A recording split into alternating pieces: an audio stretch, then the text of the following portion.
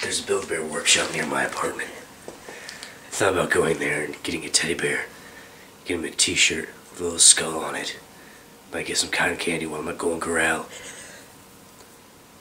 It'd make me feel like a 10-year-old again. Perfectly insane. They tell me I have to kiss the heart before I put it in the teddy bear. I find it pointless. I said let me take it into the back room for a few minutes. That should be enough.